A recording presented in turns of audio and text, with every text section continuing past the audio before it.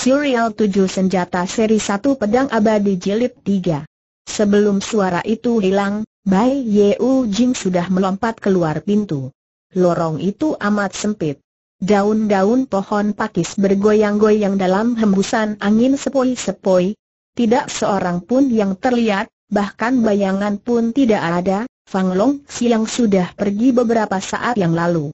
Dia tidak mau berada di tengah-tengah dua pihak yang bertikai. Jika bukan Fang Long Siang, lalu suara siapa itu? Halaman itu kembali sunyi senyap. Seseorang sudah membersihkan ikan mas dari atas tanah. Chuan muda ZHU dan pengawalnya agaknya juga sudah kembali ke kamar mereka. Cuma tiga orang laki-laki kekar dari perkumpulan naga hijau yang masih ada, masih berdiri di sana sambil mengawasi pintu gebang, menunggu seseorang yang tidak diketahui identitasnya. Bai Ye Jing hanya bisa kembali ke dalam kamar. Yuan Zixia sudah duduk di ranjang. Wajahnya kembali tampak pucat, dia bertanya, siapa di luar tidak ada siapa-siapa, Bai Ye Jing menjawab. Metusi Nona pun terbelalak. Tidak ada orang? Lalu siapa yang bicara tadi Bai Ye Jing cuma tersenyum, itulah satu-satunya jawaban yang terpikir olehnya. Metu Yuan Zixia seperti disapu tawan karena ketakutan dan dia pun berkata dengan bimbang, dia, dia menyuruhmu untuk menebas batok kepalaku. Kau tidak akan melakukannya, kan Bai Ye Jing hanya bisa menghela napas. Tiba-tiba Yuan Zixia melompat bangkit dari atas ranjang dan menghambur ke dalam pelukannya, suaranya terdengar bergetar, aku takut. Tempat ini menyeramkan, kau tidak boleh meninggalkanku sendirian di sini, tangan gadis itu memeluk lehernya erat-erat. Lengan bajunya pun tersingkap, memperlihatkan lengannya yang mulus seperti pualam. Yang dia kenakan adalah sehelai gaun tipis. Dadanya terasa hangat dan kencang. Bai Yeu Jing bukan terbuat dari kayu, dia juga bukan seorang malaikat yang luput dari nafsu. Yuan Zixia berbisik, Aku ingin kau tinggal di sini bersamaku. Kau, kenapa kau tidak menutup pintu bibirnya yang lembut dan merangsang itu berbisik di dekat telinganya, sangat dekat malah. Tepat saat itu tiba-tiba terdengar suara tangisan yang memilukan hati dari halaman sana. Siapa yang menangis itu? Siapa pun dia, tangisannya itu telah dikeluarkan pada saat yang tidak tepat. Tangan Yuan Zik siap pun terlepas. Tidak peduli siapa pun yang mendengar suara tangisan seperti itu, jantung mereka tentu terasa karam. Gadis itu berdiri di lantai dengan kaki telanjang, sorot matanya tampak seperti orang bingung, seperti seorang bocah yang tersesat arah. Tangisan itu pun agaknya berasal dari seorang bocah. Bai Ye Jing berjalan ke arah jendela dan melihat sebuah peti. Perempuan tua berambut putih dan bocah kecil tadi tampak bersandar di peti mati itu sambil menangis terseduh-seduh, suara mereka sudah hampir hilang.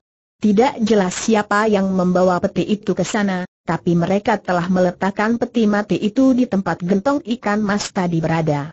Sudah cukup orang hidup yang datang ke tempat ini, dan sekarang, entah dari mana asalnya, satu orang mati pun sudah datang. Bai Yeu Jing menghela napas sambil bergumam, setidaknya orang mati tak mungkin datang karena aku, Yuan Zixia menutup pintu, menarik sebuah kursi dan duduk di pinggir jendela. Di halaman, tampak dua orang biksu yang sedang membacakan doa. Menyaksikan upacara ini dari bangunan sebelah atas, kepala biksu-biksu yang berkilauan itu mungkin tampak amat lucu, tapi suara mereka saat membacakan doa terdengar khusyuk dan memilukan. Di samping suara yang monoton dan memilukan itu, juga terdengar suara isak tangis perempuan tua dan bocah itu. Hal ini membuat orang-orang yang mendengarnya akan teringat kembali pada kesedihan dan kerisauan di hati mereka. Yuan Zixia menarik napas dan mengangkat muka untuk melihat cuaca. Dia tidak tahu pukul berapa dia bangun tadi, tapi sekarang jelas sudah senja. Langit tampak mendung, seolah akan turun hujan. Tiga orang lelaki dari perkumpulan naga hijau juga sudah memindahkan kursi mereka dan duduk di bawah wungan. Mereka melihat ke sekeliling mereka sambil menanti dengan wajah gelisah. Bai Yeu Jing dan Fang Long siang sedang berjalan, melangkah dengan perlahan ke arah pintu gerbang. Mereka tentu saja tidak memandang pada orang lain, tetapi mereka dapat merasakan banyaknya mata yang menatap mereka di balik punggung mereka. Jika secara kebetulan mereka berpaling ke arah sana, pandangan mata orang-orang itu tentu akan segera beralih dari mereka. Yuan Zixia tentu saja merupakan pengecualian. Di matanya terlihat kehangatan yang tak dapat diuraikan dengan kata-kata, terulur seperti benang sutra yang terikat di tumit kaki Baye Ujing. Di luar pintu, pemandangan tampak indah seperti lukisan. Jalan yang terlihat coklat gelap, berkelok-kelok mulai dari tempat itu seperti seekor cacing, menembus hutan yang hijau, menelusuri danau berair biru yang dalam, lalu tiba di jalan raya yang ramai. Gunung di kejauhan tampak berawan, seperti dalam kabut, terlihat indah sekaligus penuh hawa gaib.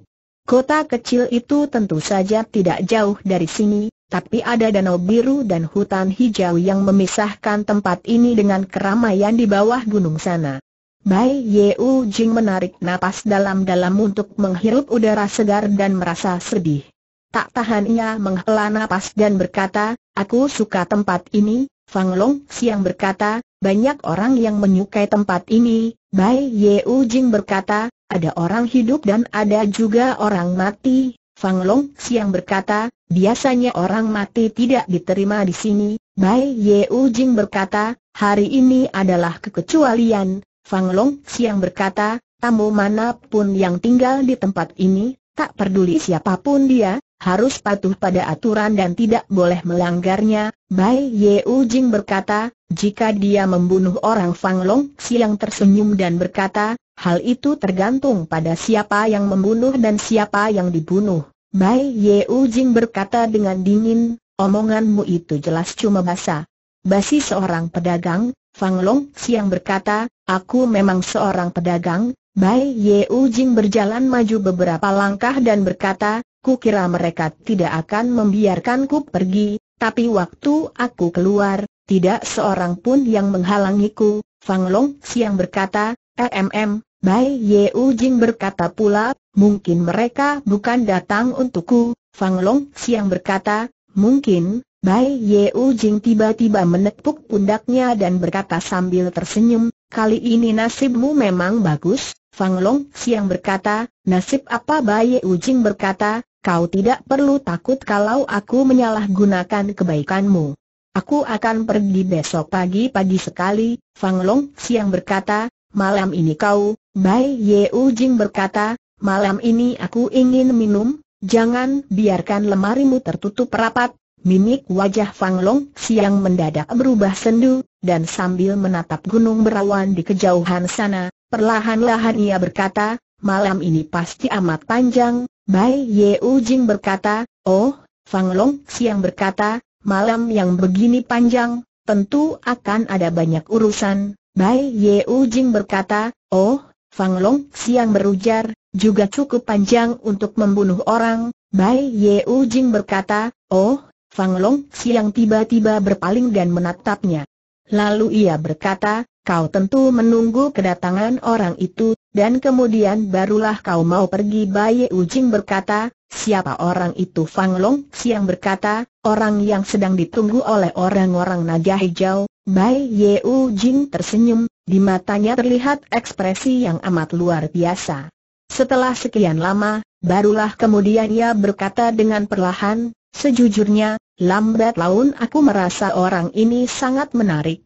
Fang Long Siang berkata, kau tidak tahu apa-apa tentang dia, Bai Yeu Jing berkata, karena aku tidak tahu, maka aku menganggap dia menarik, Fang Long Siang berkata, asalkan ada urusan yang menarik, kau tak akan pergi Bai Yeu Jing berkata, biasanya ya, Fang Long Siang berkata, adakah orang yang bisa membuatmu berubah pikiran? Bai Yeu Jing berkata, tidak ada, Fang Long Siang menghela napas dan berkata, bagus, akan kuambilkan arak dan biar kau lelah pendekar wanitamu itu sampai mabuk. Bai Yeu Jing berkata, aku juga harus pergi berganti pakaian. Fang Long Siang berkata, sekarang Bai Yeu Jing berkata, bila tiba waktu minum arak, aku selalu mengenakan baju baru, sorot metu Fang Long siang tampak berkilat-kilat, katanya, bila tiba waktu untuk membunuh, kau juga selalu berganti pakaian baru. Bai Yeu Jing tersenyum dan berkata dengan nada ringan,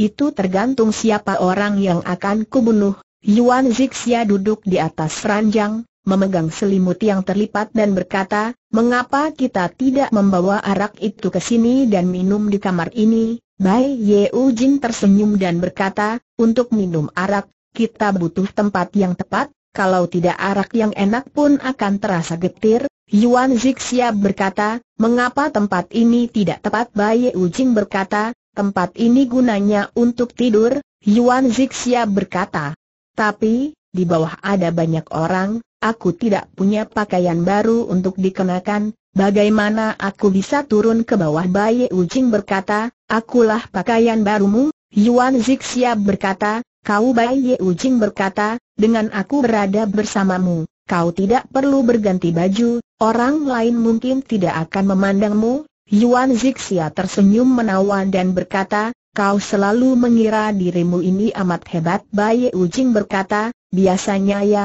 Yuan Zixia berkata, mukamu tidak pernah memerah Bayi Ujing berkata, tidak. Tiba-tiba ia membalikan badan dan berkata, tapi di sini aku takluk padamu. Yuan Zixia berkata, kenapa Bayi Ujing berkata, karena wajahku sekarang sedang memerah. Bila aku malu, aku tak mau orang lain melihatnya. Yuan Zixia mengambil sebuah kotak dan mengeluarkan seperangkat pakaian. Walaupun ini bukan pakaian baru, tapi tampak indah seperti awan ungu. Dia menyukai pakaian berwarna cerah dan menyukai orang-orang berwarna cerah. Bai Yeu Jing agaknya adalah orang seperti ini. Dia angkuh, melakukan apa pun yang dia sukai, kadang-kadang suka meledak-ledak seperti anak kecil, terkadang tenang tapi menghanyutkan seperti rubah yang licik. Dia tahu laki-laki seperti ini tidak mudah untuk dihadapi. Bila seorang wanita ingin memikatnya, itu bukan hal yang gampang. Tapi dia memutuskan untuk berusaha. Rumah makan itu tentu saja tidak besar, tapi sangat baik. Mejanya terbuat dari kayu padat, lantainya dilapisi oleh batu-batu yang indah. Di atas dinding juga terpajang kaligrafi dan lukisan yang sesuai, dan beberapa macam tanaman dengan bunga yang mekar digantung di dekat pintu. Bila seseorang memasuki ruangan itu, ia bisa melihat bahwa mencicipi makanan di tempat itu akan membuat orang merasa terhormat. Karena itu harganya pun lebih mahal daripada di tempat lain, tapi tidak ada yang keberatan. Tiga orang laki-laki dari perkumpulan naga hijau duduk di sebuah meja di dekat pintu, mati mereka menatap keluar pintu. Mereka jelas sedang menunggu seseorang. Meja tuan muda ZHU berada di dekat jendela. Dia pun sudah mulai makan dan minum dengan enaknya, sementara si baju hitam berdiri seperti bayangan di belakangnya. Apakah pelanggan ini juga ikut makan? Dah akan menungguku selesai makan, baru dah akan makan, membiarkan orang lebih dulu dan menunggu orang selesai makan sebelum bisa makan. Itulah takdir yang dipilih oleh beberapa orang. Upacara Buddha tadi sudah selesai, secara tak disangka-sangka kedua biksu tadi juga makan di sini. Kepala mereka yang berkilauan tampak gemerlap seperti pantat botol. Agaknya kepala mereka baru saja dicukur. Dalam hembusan angin, Suara isak tangis perempuan tua itu bisa terdengar samar-samar. Sebenarnya siapa yang mati? Mengapa dia menangis begitu sedih? Apakah orang yang memecahkan gentong ikan mas itu pernah muncul? Mengapa dia bersembunyi di dalam kamar seperti tidak berani bertemu siapa pun? Teh itu rasanya enak, araknya juga arak yang baik. Bai Yeu Jing sudah berganti pakaian dengan baju baru berwarna biru. Dia sudah minum beberapa gelas arak, seakan-akan tidak ada urusan yang perlu dirisaukan olehnya. Fang Long siang tampak termangu, dia hanya minum sedikit dan juga tidak banyak makan sayuran. Yuan Xia berkata dengan menawan, kau makan lebih sedikit daripada seorang gadis muda, Fang Long siang berkata sambil tersenyum, karena aku bayar sendiri, aku selalu tidak mau menghambur-hamburkan uang, Bai Yeu Jing berkata, aku juga tidak. Tiba-tiba ia bertepuk tangan memanggil pelayan dan berkata, bawakan beberapa macam makanan dan arak terbaik untuk orang di belakang sana. Fang Long siang berkata dengan dingin, juga untuk si pemakai topi sobek Bai Ujing berkata, pepatah mengatakan, mereka yang tidak mengikuti musim, mungkin tak akan berhasil mendapatkan makanan untuk dimakan. Tiba-tiba Yuan Zixia menyeletuk, makanan di sini enak. Kira-kira bahannya apa ya Fang Long siang berkata, kelabang, kadal, ular kecil, wajah Yuan Zixia mendadak pucat pasi, dia tak tahan lagi dan muntah-muntah. Di ruangan itu semua orang diam-diam memandangnya, bahkan kedua biksu tadi pun tidak terkecuali. Mulut mereka memang pantang makan daging, tapi mata mereka tentu tidak pantang apa-apa. Tiba-tiba terdengar bunyi derap kaki kuda. Seekor kuda yang besar berhenti di luar pintu. Ketiga orang laki-laki dari perkumpulan naga hijau pun mendadak bangkit. Segera muncul mimik muka yang gembira di wajah mereka. Orang yang mereka tunggu-tunggu akhirnya tiba. Fang Long siang memandang Bayi Ujing, mengangkat cawan arak dan berkata, kusulang kah secawan arak, Bai Yeu Jing berkata, mengapa kau tiba-tiba bersulang untuk Fang Long? Siang menarik napas dan berkata, aku hanya khawatir aku tak akan punya kesempatan lagi untuk bersulang. Bai Yeu Jing tersenyum dan berkata, kita lihat dulu orang ini, baru kemudian bersulang untukku, tentu masih belum terlambat. Ketika dia bicara begitu, mata semua orang sedang menatap ke arah pintu masuk. Kuda besar tadi berdiri di luar, Seseorang lalu masuk dengan tergesa-gesa. Seorang laki-laki kekar berbaju hitam melangkah masuk dengan keringat bercucuran. Ketiga orang dari perkumpulan naga hijau melihatnya, di wajah mereka segera timbul kekecewaan, dan dua orang di antaranya kemudian duduk. Orang yang datang itu jelas bukan orang yang dinanti-nantikan. Yang seorang lagi menyambut kedatangan teman mereka itu, mengerutkan kening dan bertanya, Kenapa, orang lain mendengar ucapannya itu, tapi suaranya tiba-tiba berubah menjadi rendah seperti berbisik. Orang yang baru masuk itu pun berbicara dengan nada yang lebih rendah. Dia hanya mengucapkan beberapa patah kata sebelum pergi lagi dengan terburu-buru. Ketiga orang laki-laki dari perkumpulan naga hijau itu saling berpandangan. Mereka lalu duduk dan minum. Raut muka yang gelisah tadi tidak terlihat lagi di wajah mereka. Walaupun orang yang mereka tunggu belum datang, jelas mereka sudah mendapatkan berita. Tapi berita apa? Chuan muda ZHU mengerutkan alisnya dengan gelisah, raut muka tak sabaran yang tadi terlihat di wajah orang sekarang pun muncul di wajahnya. Kedua biksu tadi tiba-tiba bangkit, merapikan pakaian mereka dan berkata, Tagihan biksu-biksu miskin ini, harap dicatatkan atas nama Nyonya Guo. Biksu-biksu itu makan di sini karena keadaan istimewa, tentu saja mereka tidak membayar. Tapi entah karena alasan apa, Bai Yeu Jing selalu merasa bahwa kedua orang biksu itu tidak terlihat seperti biksu. Sorot matanya pun tampak seperti orang yang sedang merenung. Ketika mereka sudah keluar, tiba-tiba dia berkata sambil tersenyum, ku dengar kau punya sepasang mata yang tajam seperti rubah sejak lahir. Aku ingin mengujimu, Fang Long siang berkata, ujian macam apa? Bayi Ujing berkata, ada dua macam ujian, Fang Long siang menghela napas dan berkata, ujilah aku, Bai Ye Ujing berkata, kau lihat kedua biksu tadi, Bagian tubuh mana yang tadi tidak ada? Yuan Zixia merasa bingung. Kelima panca indera dua orang biksu tadi seluruhnya lengkap, dan mereka bukan orang-orang cacat. Kenapa ada bagian tubuh yang hilang? Fang Long siang memikirkan pertanyaan yang sulit itu dan tiba-tiba menjawab, luka bekas bakaran dupa, Yuan Zixia hanya bisa menghela napas. Metu kalian benar-benar tajam, Agaknya mereka memang tidak punya luka bekas bakaran dupa, Bai Yeu Jing berkata, kedua orang itu memang tidak punya, Yuan Zixia berkata, mereka, mereka bukan biksu sungguhan. Bai Yeu Jing tersenyum dan berkata, kenyataan adalah ilusi, ilusi adalah nyata, asli dan palsu, Kenapa kita begitu serius memikirkannya? Yuan Zixia tersenyum dan berkata, kapan kau juga berubah menjadi biksu?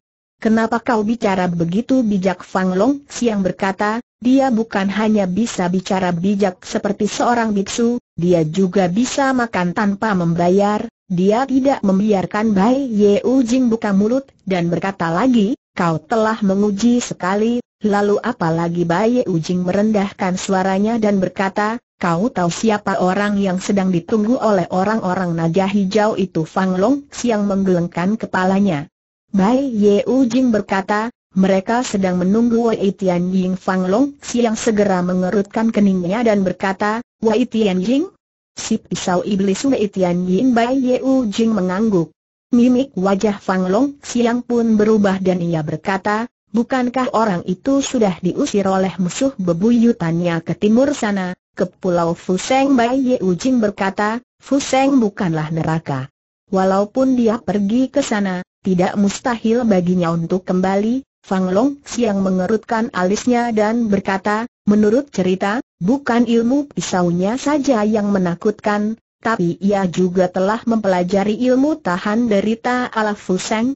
Dalam perkumpulan naga hijau, dia dianggap sebagai salah seorang dari dua belas hantu naga hijau. Bai Yeu Jing berkata dengan nada ringan, kurasa juga begitu, Yuan Zixia menatapnya dan berkata, apa itu ilmu tahan derita? Baye Ujing berkata, ilmu tahan derita adalah kungfu istimewa yang mengajarkan cara melukai orang secara diam-diam, jadi lebih baik kau tidak mendengarnya, Yuan Zixia berkata, tapi aku ingin dengar, Bai Ye berkata, walau kau ingin mendengarnya, aku tak dapat mengatakannya, Yuan Zixia berkata, kenapa Bai Ye Ujing berkata, karena aku pun tidak tahu. Sebenarnya dia tahu sedikit tentang ilmu ini.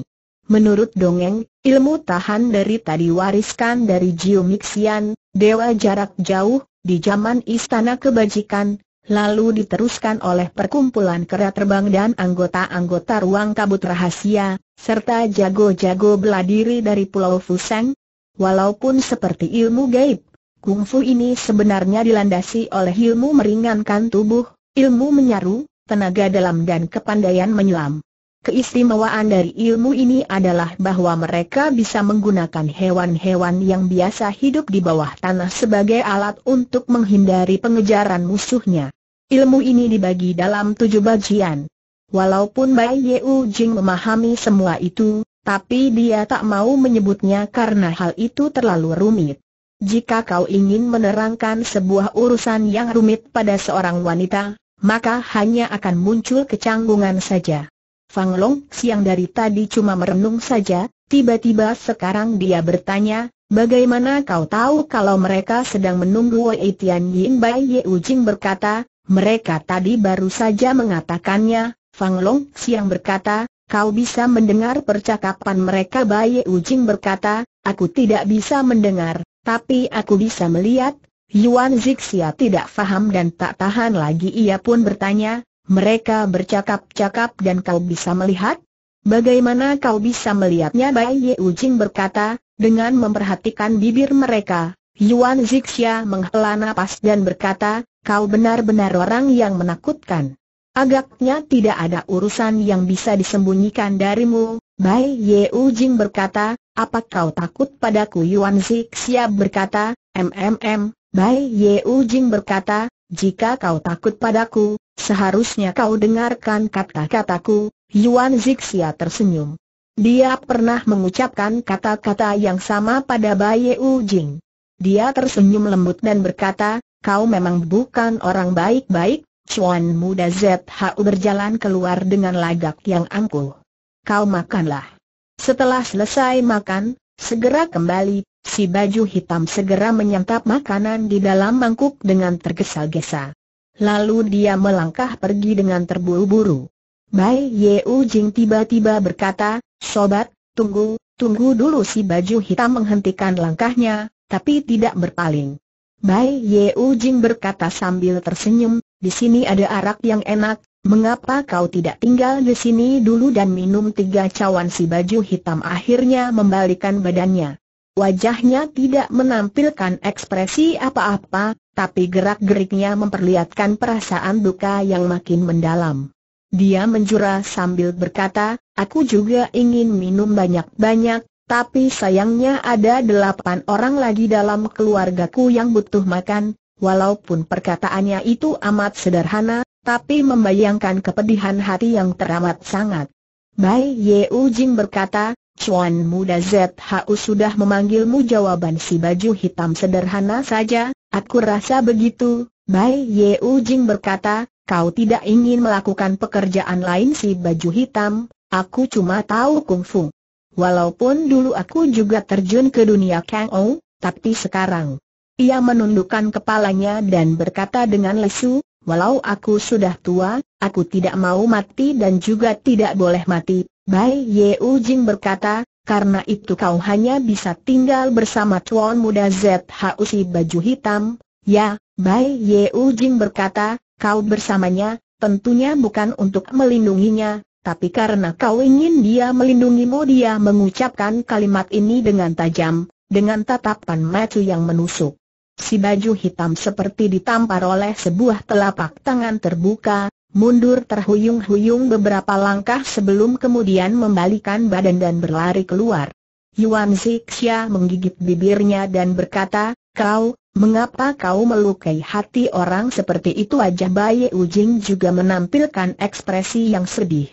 Setelah sekian lama, dia lalu menarik napas panjang dan berkata, karena aku bukan orang baik-baik, tapi tidak ada yang mendengar kata-katanya, karena tepat pada saat itu tiba-tiba terdengar jeritan yang memilukan dalam keheningan malam. Suara jeritan yang membuat beku darah orang.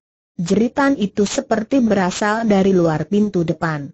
Fang Long siang melesat seperti anak panah yang lepas dari busurnya, dia mengayunkan gaetan besinya. Dengan menimbulkan bunyi brak yang keras, dia telah menghancurkan daun jendela. Diterangi oleh cahaya yang keluar dari pintu depan, halaman yang luas itu tampak sunyi senyap. Peti mati tadi telah dibawa masuk. Di tengah halaman tidak ada siapa-siapa. Tapi sekarang, tiba-tiba muncul seseorang yang berlari masuk lewat gerbang depan seperti orang gila. Seorang biksu. Cahaya lampu yang samar-samar memperlihatkan tidak adanya bekas luka bakaran dupa di kepalanya yang gundul. Tidak ada bekas luka, tapi ada darah. Darah yang tidak berhenti mengalir dan membasahi wajahnya. Masuk ke matanya, masuk ke dalam kerutan-kerutan di sudut matanya. Di bawah sinar rembulan yang remang-remang, wajah itu tampak sangat menakutkan. Dia berlari masuk ke halaman dan melihat jendela yang hancur berantakan itu. Fang Long siang berlari keluar lewat jendela. Sorot metu biksu tadi memperlihatkan perasaan terkejut, takut, duka dan gusar. Sudut mulutnya berkerut-kerut tiada henti. Mungkin dia berusaha membersihkan wajahnya dengan tangannya tapi malah melukai sudut mulutnya. Setelah keluar lewat jendela, Fang Long siang merendahkan suaranya, siapa dia? Siapa yang melakukan perbuatan yang keji ini biksu itu mengeluarkan suara melengking tinggi dan mendesis, hijau, hijau, hijau, Fang Long siang berkata, hijau apa biksu itu belum sempat mengucapkan kata kedua ketika kaki dan tangannya tiba-tiba berkelojotan. Dia pun melompat di atas satu kaki dan terjungkal roboh. Fang Long siang mengerutkan alisnya dan bergumam, hijau apa? Naga hijau pelan-pelan dia pun berpaling. Tiga orang dari perkumpulan naga hijau berbaris di bawah wuwungan atap. Tampaknya mereka pun sangat terkejut. Darah pelan-pelan mengalir menuruni kepala biksu tadi dan akhirnya mengental. Hal itu membuat sebuah kilauan emas terlihat sehingga Fang Long siang segera berjongkok dan memutar kepala itu ke arah sinar lampu untuk melihat sumber kilauan tadi. Dia segera melihat sebuah logam keemasan berbentuk seperti mata rantai. Meter rantai berdiameter 7 inci itu menancap di kepala tersebut, hanya sebagian saja yang terlihat. Fang Long siang akhirnya paham kenapa biksu ini tadi bertingkah seperti orang gila dan tampak amat menyeramkan. Sebuah meter rantai emas berdiameter 7 inci, jika menancap di kepala orang, orang itu tentu akan segera menjadi gila. Bai Yeu Jing mengerutkan keningnya dan berkata, rantai emas perkumpulan rambut merah Fang Long siang mengangguk, bangkit berdiri, matanya menatap pintu kamar ketiga sana dan bergumam, Mengapa dia harus membunuh biksu ini? Mengapa kau tidak pergi dan bertanya padanya orang yang bicara ini adalah Chuan Muda ZHU? Jelas dia tadi mendengar suara jeritan yang memilukan itu, keluar dengan tergesa-gesa, dan sekarang sedang berlipat tangan, berdiri di bawah lampu. Si baju hitam membayanginya dalam jarak dekat. Fang Long siang memandangnya dan berkata, Sejak kapan gedung sejuta emas dan perkumpulan rambut merah bermusuhan Chuan Muda ZHU berkata, bermusuhan? Siapa bilang gedung sejuta emas mempunyai sengketa dengan monster-monster rambut merah itu Fang Long siang berkata, bagaimana gentong ikan mas tadi bisa pecah Chuan Muda ZHU tersenyum dan berkata, mungkin mereka bersengketa mengenai ikan mas itu. Mengapa kau tidak bertanya padanya saja Fang Long siang berkata, Kau ingin aku bertanya padanya Chuan Muda ZHU berkata, hal itu terserah padamu. Fang Long siang menyeringai, tiba-tiba tubuhnya melesat pergi. Pintu kamar ketiga biasanya selalu tertutup, tapi sekarang terlihat sinar lampu keluar darinya. Fang Long siang tidak mengetuk pintu, pintu memang terbuka. Seseorang berdiri di ambang pintu, di telinganya terpasang dua buah anting-anting emas berbentuk meter rantai yang berbunyi tintang, matanya tampak berapi-api. Fang Long siang memandang anting-anting emas di telinganya, ketua Miao Miao Sao Tian berkata dengan wajah tenang, Chuan Fang benar-benar memiliki mata yang tajam. Fang Long siang berkata, tadi, Miao Sao Tian, tadi aku sedang makan. Bila sedang makan, aku tidak pernah membunuh orang, di atas meja memang ada baki berwarna kuning keemasan, di atas baki terdapat seekor ular yang kulitnya sudah separuh terkelupas. Di sudut mulut Miao Sao Tian terdapat darah. Perut Fang Long siang tiba-tiba terasa memberontak, agaknya orang ini sedang memakan seekor ular berbisa. Miao Sao Tian melirik Chuan Muda ZHU di halaman sana. Dengan dingin dia berkata, jangan lupa, Siapa saja yang punya rantai emas, dia bisa melemparkan meter rantai emas itu. Asal orang itu punya tangan, dia bisa menggunakan meter rantai emas itu untuk membunuh orang. Fang Long siang mengangguk, dia tidak bisa membuka mulutnya karena khawatir kalau dia akan muntah. Di kamar sebelah, suara isak tangis yang amat memilukan sayup-sayup masih terdengar. Miao Sao Tian membanting pintunya hingga tertutup. Dia meneruskan makannya lagi. Tiga orang dari perkumpulan naga hijau pun telah menarik diri. Yuan Zixia memegang tangan Baye U Jing erat-erat. Dia takut kalau pemuda itu menyelinap pergi dengan tiba-tiba. Mayat biksu tadi telah menjadi kaku. Fang Long siang mengerutkan keningnya dan berkata, siapa yang membunuhnya? Mengapa dia dibunuh Baye Ujing berkata, karena dia biksu palsu, Fang Long siang berkata, biksu palsu. Mengapa ada orang yang membunuh biksu palsu tidak seorang pun yang bisa menjawab pertanyaan ini? Fang Long siang menghela napas, lalu berkata sambil tersenyum pahit, jika tidak keliru, di luar juga tentu ada mayat seorang biksu palsu lagi. Bai Yeu Jing berkata, mayat biksu palsu lagi Wan Zik siap berpegangan pada tangan Bai Yeu Jing, dan berjalan masuk ke dalam pavilion mungil itu.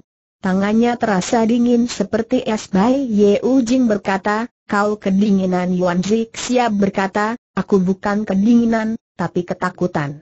Mengapa begitu banyak orang menyeramkan yang datang ke Mari Bai Yeu Jing tersenyum dan berkata, mungkin mereka semua datang untukmu, wajah Yuan Zik makin pucat pasti dan ia berkata, untukku Bai Yeu Jing berkata, Semakin menakutkan seseorang itu, semakin menarik pula wanita yang dia sukai. Yuan Zixia tersenyum dan berkata, bagaimana denganmu?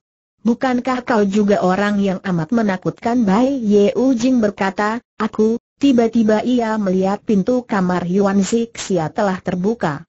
Ia ingat, ketika mereka turun tadi, mereka telah menutup pintu dan membiarkan lampu kamar tetap menyala.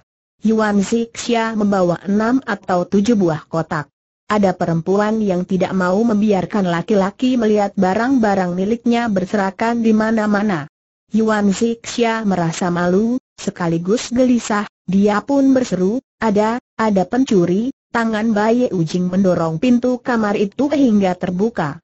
Sebenarnya kamarnya masih lebih berantakan daripada kamar ini. Tapi Yuan Zixia tidak membiarkan dia melihat-lihat lagi, dan telah menariknya keluar. Dia tak mau membiarkan barang-barang miliknya dilihat oleh orang laki-laki, wajahnya sudah memerah hingga ke telinga. Bai Yeu Jing berkata, barang apa yang tidak boleh kulihat wajah Yuan Zixia makin memerah, ia pun berkata, aku, tidak, tidak ada barang berharga milikku yang dicuri orang. Bai Yeu Jing menyeringai dan berkata, mungkin memang tidak ada pencurinya, Yuan Zixia berkata, mengapa pencuri itu tidak datang ke kamar yang lain dan mengacak-acak di sana Bayi Ujing berkata, agaknya mereka memang sedang mencariku, Yuan Zixia berkata, mencarimu. Siapa?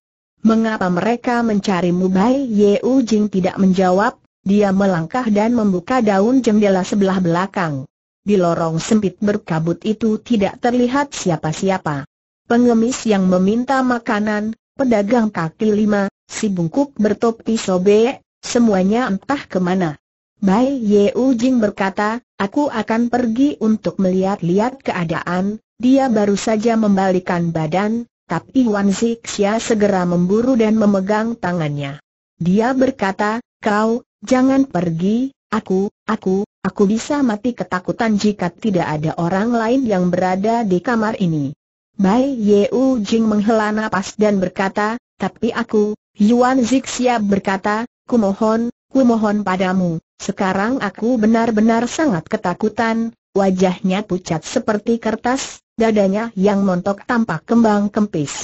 Bai Yeu Jing memandangnya, sorot matanya melembut dan ia pun berkata, kau benar-benar ketakutan sekarang ini Yuan Zixia berkata, MMM, Bai Yeu Jing berkata, kalau tadi Yuan Xia menundukkan kepalanya dan berkata, tadi, tadi aku berdusta padamu. Bai Yeu Jing berkata, mengapa harus berdusta Yuan Xia berkata, karena aku, wajahnya yang pucat juga sudah memerah. Tiba-tiba ia memukuli dada Bai Yeu Jing dan berkata, kenapa kau harus memaksa orang lain untuk mengatakannya? Kau memang bukan orang baik-baik, Bai Yeu Jing berkata, karena aku bukan orang baik-baik, kau juga berani membiarkan aku tinggal di kamarmu ini Wajah Yuan Zixia semakin memerah, ia pun berkata, aku akan menyerahkan tempat tidur ini untukmu. Aku akan beristirahat di lantai, Bai Yeu Jing berkata, apakah aku tega membiarkanmu tidur di lantai Yuan Zixia menggigit bibirnya dan berkata, tidak apa-apa, asal kau mau tinggal di sini, tidak usah pedulikan hal lainnya lagi, Bai Yeu Jing berkata, naik ke ranjang Yuan Zixia berkata, tidak. Yuan Zixia berbaring di atas ranjang. Bai Yeu Jing juga berbaring di atas ranjang. Mereka sudah melepaskan sepatu mereka sebelum berbaring di atas tempat tidur itu. Tanpa sepatu, tapi pakaian masih dikenakan lengkap. Setelah sekian lama, Barulah Yuan Zixia menghela napas dan berkata, aku tidak mengira kalau kau orang seperti ini. Bai Yeu Jing berkata, aku juga tidak.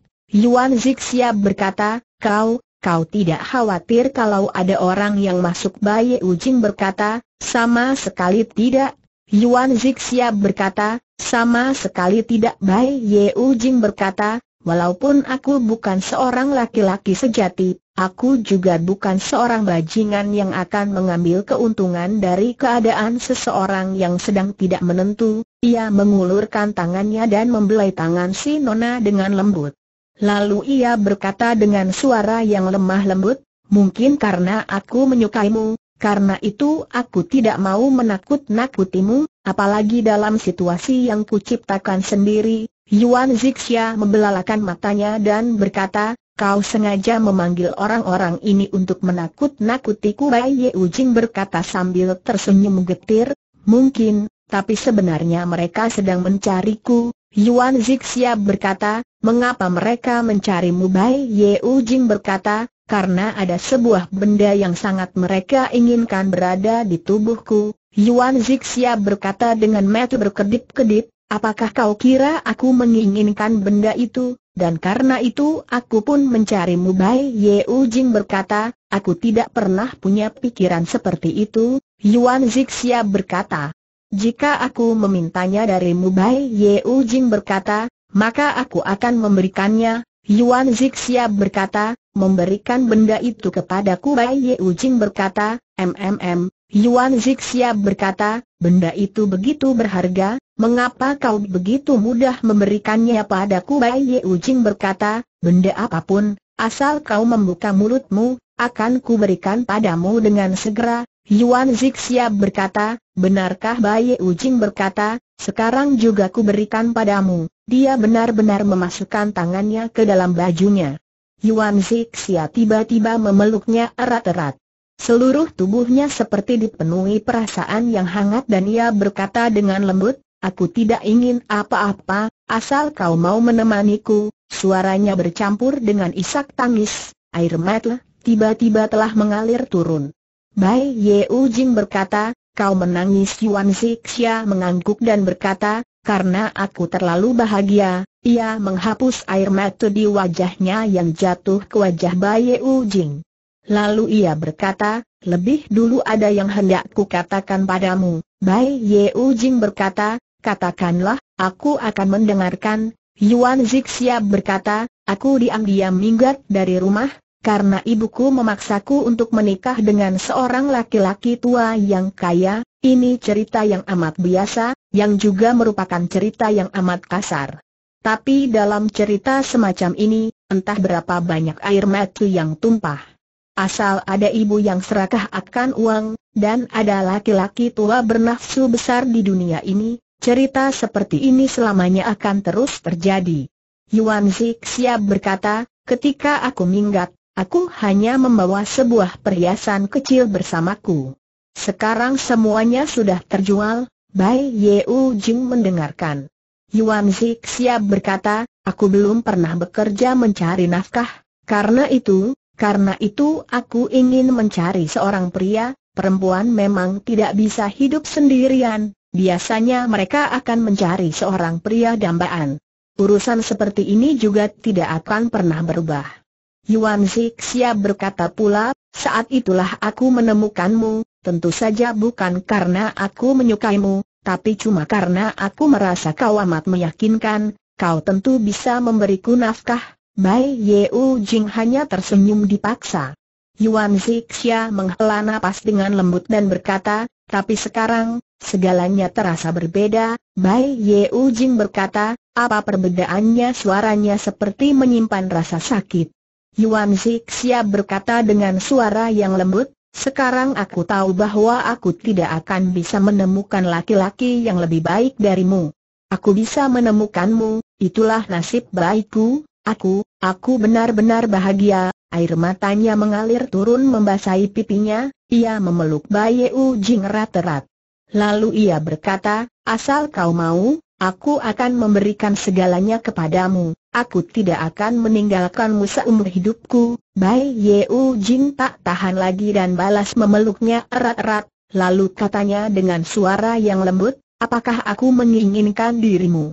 Bagaimana mungkin aku tidak menginginkanmu? Yuan Zixia tersenyum sambil menangis dan berkata, kau mau membawaku pergi? Bai Yeu Jing berkata, sejak saat ini, tak peduli apa pun yang aku lakukan, aku tentu akan membawamu, Yuan Zixia berkata, benarkah dia tidak membiarkan Bai Yeu Jing membuka mulutnya dan menutup mulut laki-laki itu dengan mulutnya sendiri. Dia lalu berkata, aku tahu kau mungkin mula jengkel, tapi aku hanya memintamu untuk tidak pergi dengan orang-orang itu.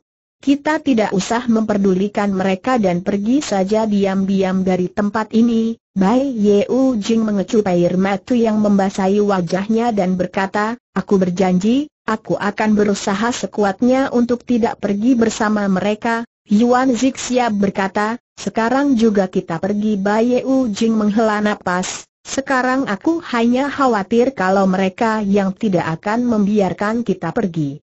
Tapi jika kita menunggu sampai besok pagi, aku tentu akan punya care untuk membawamu pergi, maka nantinya tidak ada lagi orang yang akan bisa mengganggu kita. Yuan Zixia tersenyum, sorot matanya memancarkan kegembiraan dan juga harapan akan kebahagiaan di masa depan. Akhirnya dia memperoleh apa yang dia inginkan. Seorang wanita cantik dengan sifatnya yang baik, Mengapa hal ini tidak lebih sering terjadi sehingga mereka bisa memperoleh apa yang mereka dambakan?